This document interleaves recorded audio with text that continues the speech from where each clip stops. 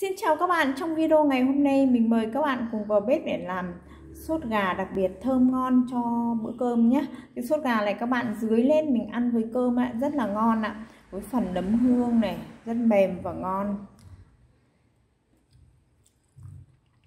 Thịt gà vừa bạn ạ. Các nguyên liệu để làm món ăn này thì mình mời các bạn cùng làm với mình ạ. Đây các bạn chuẩn bị cho mình 1 kg thịt gà này 10 cây nấm hương này củ hành tây quả ớt ít lá chanh một mẩu gừng nhá. Các gia vị khác thì chút nữa mình sẽ nói sau. Đây là à, cái này thì à, như nấm hương các bạn ngâm cho mình độ lửa tiếng gừng. Mình sẽ rửa sạch nhá. Lá chanh hành và ớt. À, bây giờ mình sẽ rửa sạch cái phần gà này. Các bạn cho mình muối vào nhé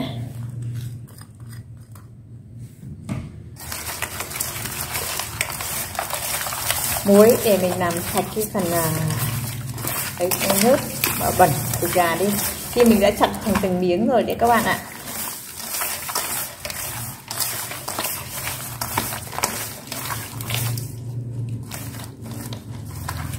Để một kg thịt gà các bạn ạ. Các bạn để trong muối như thế này cho mình từ 3 đến 5 phút sau đó thì mình sẽ đi rửa sạch để hết cái uh, phần nước này đi nhé đã ra những cái màu của cái huyết trong thịt và xương cái đỏ ấy ạ.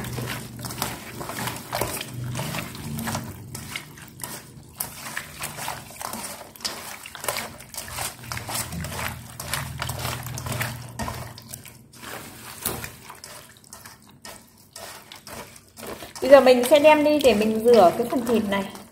Mình rửa để cho nó hết cái màu đỏ này đi nhé.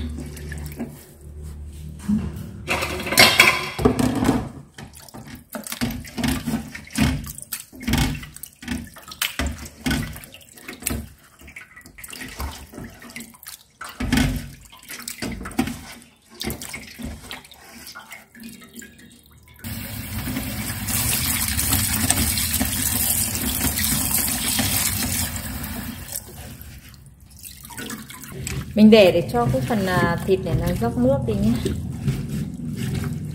Sau đó thì mình sẽ ướp ạ. Đây các bạn, sau khi mình đã rửa rồi nhé cái phần nấm hương này, các bạn bóp cho mình hết cái phần nước này đi nhé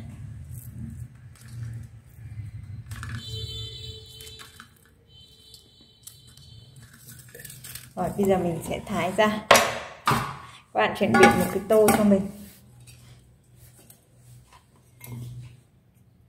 Hương mình cắt làm đôi ra nhé.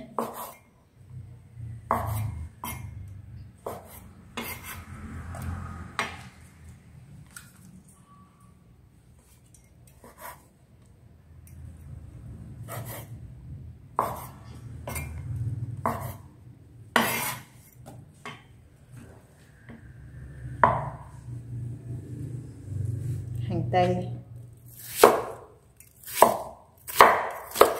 Không có hành tây các bạn lấy cẳng hành náng nhé cũng được.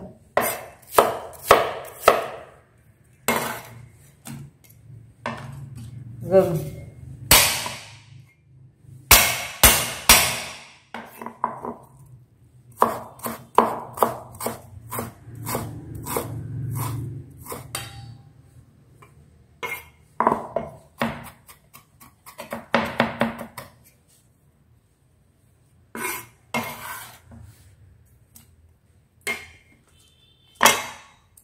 Ớt.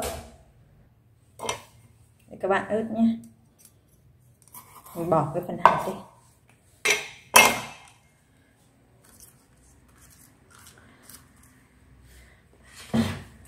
Bây giờ cái phần thịt gà đã ráo rồi, thì các bạn sẽ cho mình vào đây. Mình ướp gia vị vào.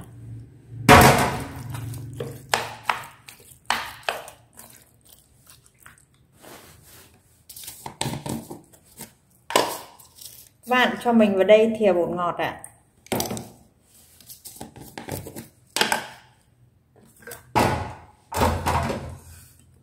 Hạt lem nhé một thìa.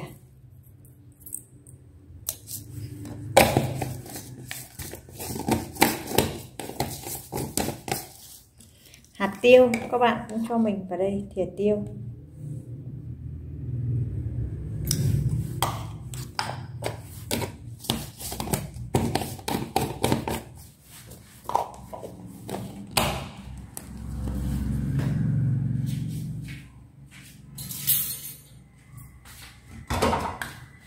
Nước tương ạ. Cho mình 4 thìa nước tương. Các bạn mà có nước tương đặc cách thì mình sẽ giảm cái nước tương này đi.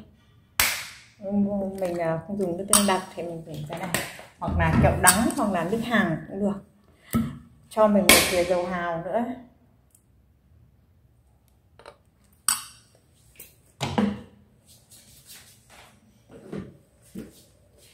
Một chút nước mắm nữa nhé.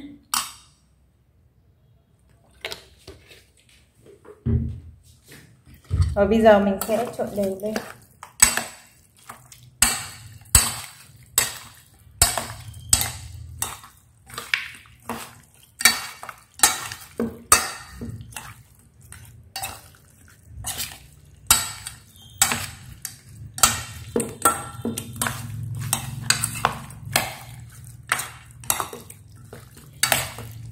các bạn sẽ ướp cho mình từ 20 đến 30 phút nhé. Sau đó thì mình sẽ nấu cái phần thịt gà này lên nhé.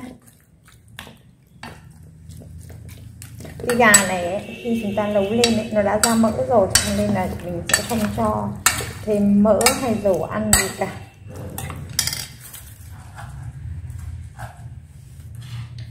Mình sẽ thái cái phần lá chanh này súp lá chanh này gà có lá chanh thì nó rất là thơm luôn không cần phải thái nhỏ nhé. Các bạn ướp cho mình khoảng 20 đến 30 phút. Sau khi mình ướp phần gà này được nửa tiếng rồi các bạn nhé bây giờ mình sẽ đảo lại lên để mình à, cho vào nồi ạ. Hôm nay mình sẽ hấp cách thủy các bạn ạ. Ăn vừa đỡ ngấy mà lại ngon nhé. Các bạn à cho vào mình một cái nồi mình hấp ạ.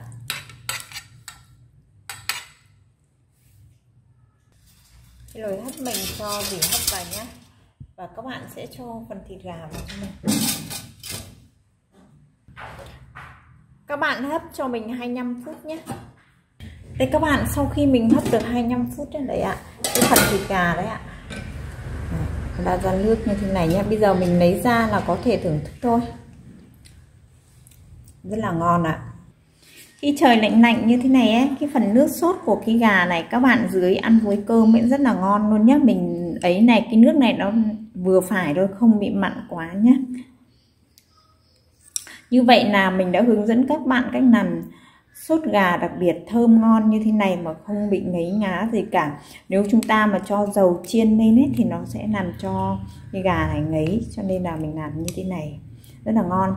Các bạn thích có thể like chia sẻ và đăng ký kênh giúp mình ạ ẩm thực miền quê ạ. Xin chào và hẹn gặp lại các bạn.